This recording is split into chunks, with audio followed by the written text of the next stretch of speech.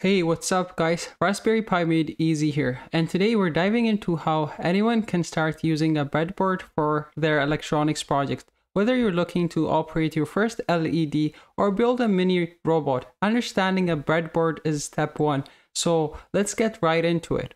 You can think of a breadboard as your playground for prototyping electronic circuits. No soldering is required, which means you can insert components and pull them out like le Lego pieces. Super useful for testing out ideas before making them permanent.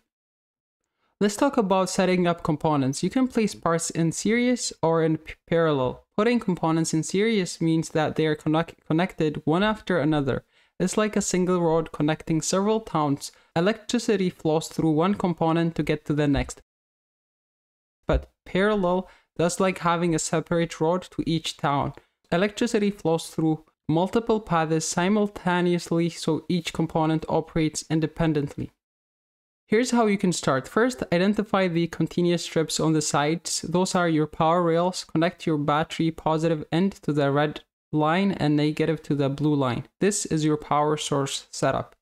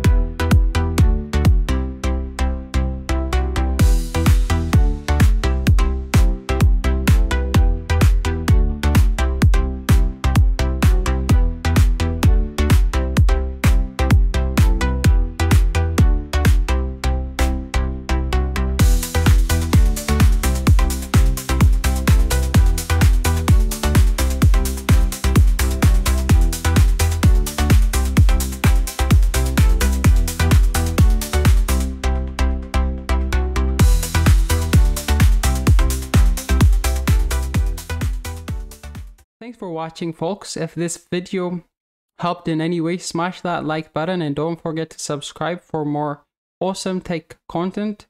If you have any questions, drop them in the comments below.